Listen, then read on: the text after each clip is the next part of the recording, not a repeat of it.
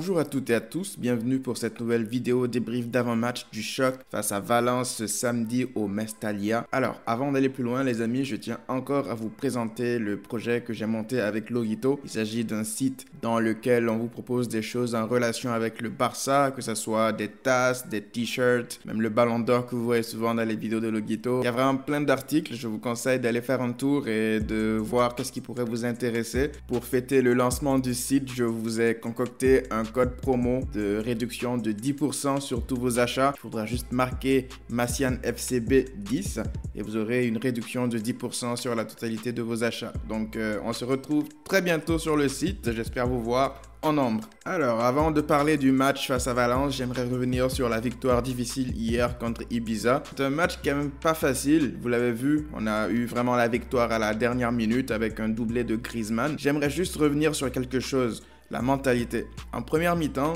on n'a pas du tout apprécié l'attitude des joueurs. Je l'ai répété hier dans la vidéo, ceux qui ne l'ont pas vu peuvent aller la voir. Cependant, il y a quand même aussi des choses positives. J'en ai parlé hier, mais je préfère encore revenir là-dessus. Mais l'attitude, c'est quelque chose de primordial. Sous Valverde, on avait souvent des premières mi-temps totalement éclatées, alors qu'on s'attendait à du mieux en deuxième mi-temps. Parfois, on avait des deuxièmes mi-temps pires que les premières mi-temps. Je me rappelle encore du match face à Dortmund à l'aller. C'était complètement dégueulasse en première mi-temps. En deuxième mi-temps, c'était encore pire. Donc là, il y a quand même du positif parce qu'en deuxième mi-temps contre Ibiza, on a vu une autre mentalité. On a senti qu'il y avait quelque chose qui s'est déroulé dans le vestiaire. Il y a peut-être eu un discours peux pas le dire, je n'étais pas là, mais on a senti des joueurs qui avaient plus faim, qui avaient envie d'en découdre avec l'adversaire, qui avaient envie d'aller de l'avant. Et si vous voulez mon avis, ça ne m'aurait même pas étonné que Eder Sarabia et Kike Setien soient rentrés dans les joueurs pour leur faire un discours, pour les réveiller, pour qu'en deuxième mi-temps ça soit beaucoup mieux. On ne le saura probablement jamais, mais c'est quand même encourageant pour la suite. J'aimerais aussi parler d'un autre problème. Hier, on a voulu faire tourner on a dû aligner Sergi Roberto une fois de plus, accompagné de l'anglais et Firpo dans la défense à 3. Mais force est de constater que en réalité, on n'avait pas vraiment beaucoup d'options. Alors Ro ne pouvait pas rentrer, je pense, parce qu'il était sous le coup d'une suspension. Et là, je me pose la question de savoir pourquoi est-ce qu'on a prêté Jean-Claire Todibo? Voilà le genre de match où il aurait vraiment pu nous aider avec ses qualités. Mais bon, la direction fait encore n'importe quoi, je vais pas trop m'attarder là-dessus. On va désormais passer au match qui nous attend ce samedi face à Valence au stade Mestalia, un stade difficile à manœuvrer. On jette un petit coup d'œil au classement pour voir que c'est toujours et encore serré avec le Real Madrid en tête. On est à égalité de points avec le Real. Donc pas de faux pas de la part du Barça. Sinon on va voir le Real qui risque de nous passer devant. On voit que Valence est aussi une équipe qui a la 7 place. Ils ont perdu lourdement leur dernier match face à Mallorca mais ça reste une équipe euh, bien placée, comme vous pouvez le voir. Valence est ce genre d'équipe qui, même quand ils sont dans une mauvaise passe, chaque fois, nos déplacements au stade Mestalia ont toujours été des matchs périlleux. Alors, lorsqu'on regarde la forme de Valence, on voit que malgré leur défaite lourde face à Mallorca récemment, je pense qu'ils avaient eu un rouge pour ce match. C'est une équipe qui est dans une période, on va dire, pas très mauvaise, même si c'est une équipe qui encaisse quand même pas mal de buts. Ils sont quand même solides. On voit qu'ils ont réussi à accrocher le Real Madrid il n'y a pas si longtemps. Donc, il va falloir naturellement faire attention au Che. Alors, on va désormais voir la forme du Barça pour euh, remarquer que les deux derniers matchs sont soldés par des victoires. Des victoires difficiles, naturellement, parce que Kike Setien vient d'arriver. On est en train de voir de nouvelles choses. Les joueurs sont en train d'apprendre une nouvelle façon de jouer. On dit nouvelle entre guillemets parce qu'à la base le Barça est censé jouer comme ça. Mais ça prend du temps. C'est des choses qui ne s'improvisent pas comme ça en l'espace d'une ou deux semaines. Moi, comme je l'ai dit, Kike Sétienne, je vais vraiment être indulgent avec lui. Moi, c'est le contenu qui m'intéresse. J'ai envie de voir de l'amélioration par rapport à ce qu'on voyait dans le passé. Si on réussit à gagner en plus, pour moi, ça sera du tout bénéf. Par contre, ce que je veux voir d'abord et avant tout, c'est de l'amélioration. De l'amélioration parce que le but, c'est qu'en fin de saison, que le Barça réussisse à avoir un niveau décent pour affronter la Ligue des Champions et aller le plus loin possible. Lorsqu'on jette un coup d'œil aux confrontations directes, on voit qu'en règle générale, Valence est une équipe qui nous mène tout le temps à la vie dure. Et ça, ça ne date pas d'il y a une semaine ou d'il y a un an. Depuis l'époque de Pep Guardiola, Valence, même quand on était en super forme, on arrivait toujours au Mestalia, ils sortaient le match de leur vie. Alors oui, on les a battus en début de saison, mais il faut pas oublier que cette équipe nous a battus en finale de la Copa il n'y a pas si longtemps. Donc il va falloir faire attention à eux, surtout que nous en ce moment, on est un peu dans une période, on va dire, entre guillemets, de pré-saison, parce que les joueurs doivent encore faire des doubles séances d'entraînement, réapprendre pas mal de choses. C'est quand même un déplacement ultra difficile, je trouve. Lorsqu'on jette un coup d'œil aux blessés et aux suspendus pour ce match, de notre côté d'abord, évidemment, Suarez qui est blessé jusqu'à la fin de la saison quasiment, Dembélé qui fera son retour très prochainement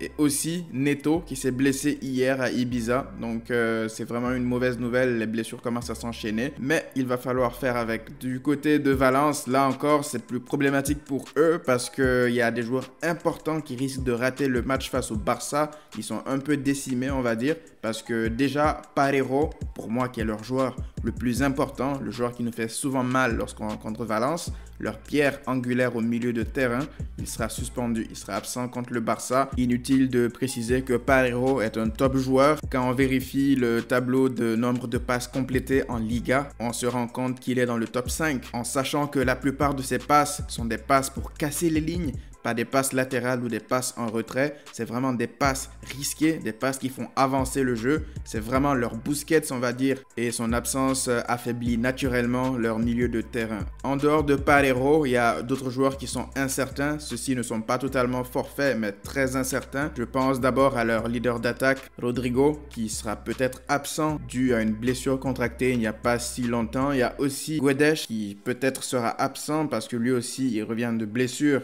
ça dit qu'il est de retour à l'entraînement comme Rodrigo, mais incertain pour le match contre le Barça. Donc ça fait quand même pas mal de joueurs importants de leur effectif qui pourraient manquer le choc face au Barça. Le foot, c'est malheureusement comme ça. Nous aussi, on a des absents. Et je pense que c'est le moment idéal de profiter de cette situation pour repartir avec les trois points du Mestalia. Concernant les équipes probables, cette fois-ci, celle du Barça, je vais y aller avec un pronostic concernant l'équipe que va aligner Kike Setien. Étant donné que c'est le système qu'il faisait depuis qu'il a commencé, je pense qu'il va aller encore avec un 3-5-2 comme ça. Peut-être que ça va être une modification dans l'animation un peu différente. Peut-être qu'on aura des joueurs qui seront plus bas. Là, par exemple, je pense qu'on aura tout d'abord Ter Stegen dans les buts, naturellement. Dans la défense à 3, il va très certainement aller avec Piqué en tour de contrôle. À ses côtés, on aura Sergi Roberto et peut-être Clément Langlais qui fera son retour dans le 11 titulaire. Ou pourquoi pas Umtiti qui a montré de très belles choses face à Grenade. Pourquoi pas? Je pense qu'il va essayer de sécuriser tout ça en mettant Busquets et De Jong en mode sentinelle pour pouvoir couvrir les défenseurs parce qu'on a vu contre Ibiza par exemple qu'à chaque fois que Ibiza partait en contre, on avait un peu de mal. Peut-être qu'il va essayer de remettre De Jong dans un rôle un peu plus en arrière avec Busquets, mais le but sera évidemment d'essayer d'aller le plus haut possible, mais aussi de se protéger en arrière en cas de contre adverse. Devant eux, je pense qu'il mettra Arthur, en tout cas j'espère parce que Arthur n'a pas encore 60 euh, minutes dans les jambes, donc faut voir est-ce qu'il est apte à débuter un match avec une telle intensité? Sinon, l'alternative serait peut-être de mettre De Jong dans ce rôle et mettre Vidal à côté de Busquets pour euh, essayer de protéger tout ça. Pour la ligne d'attaque, je pense qu'il ira là aussi avec le classique qu'on a eu durant ces derniers matchs. Je pense qu'on aura Alba à gauche Ansu Fati à droite. Ansu Fati a eu un peu de mal dans les derniers matchs dans la prise de décision finale, mais faut pas oublier qu'au match aller, il avait marqué face à Valence. Donc espérons qu'il le fasse de nouveau. Dans l'axe, je pense que ça va être du classique Messi, Griezmann. Griezmann qui va essayer de tourner autour de Messi et Messi qui aura ce rôle d'électron libre. Je pense qu'il y a vraiment moyen de faire mal à Valence, surtout si Griezmann continue sur sa lancée de ces derniers matchs. Ça pourrait vraiment être le feu dans la défense de Valence parce que Messi a l'air déterminé, il n'a pas fait un super match contre Grenade et là, je pense que ce serait l'occasion pour lui de remettre les pendules à l'heure. Concernant les pronostics, je vois que sur YouTube, vous êtes euh, un peu pessimiste par rapport à une victoire facile. Vous voyez pour la plupart une victoire difficile. Et c'est normal, Valence est une équipe complètement euh, difficile à manœuvrer. Ça va pas être facile, je pense aussi. Sur Twitter, vous êtes un peu plus optimiste. Vous voyez pour la plupart une victoire convaincante, même s'il y a quand même des personnes aussi qui voient une victoire difficile là aussi. En tout cas, c'est sûr que ça va être un choc très intéressant à voir au Mestalia ce samedi. Toutes les conditions sont réunies pour avoir un beau match de football. Après, comme je vous ai dit les amis, Kike Sétienne vient juste d'arriver. Va falloir être patient avec lui, avec son équipe. Faut rappeler que le Barça, depuis des lustres, n'arrive pas à sortir des prestations convaincantes à l'extérieur. Donc peu importe l'issue du match, que ce soit une victoire éclatante à l'extérieur ou même une victoire poussive ou même une purge,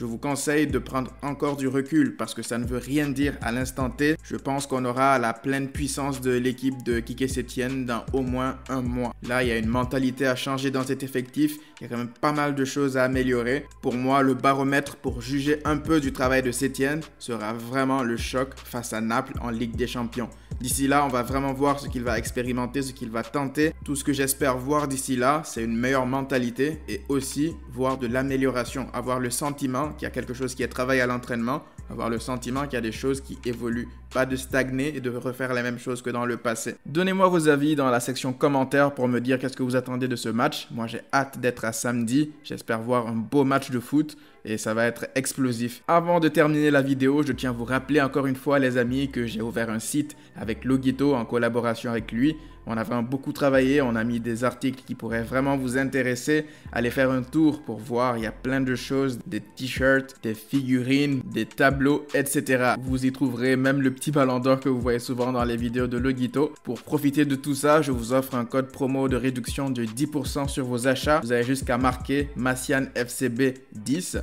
et vous aurez un code de réduction de 10% sur la totalité de vos achats. J'espère vous retrouver en grand nombre sur le site. D'ici là, on se retrouve très vite pour une nouvelle vidéo. Prenez tout soin de vous et à très vite.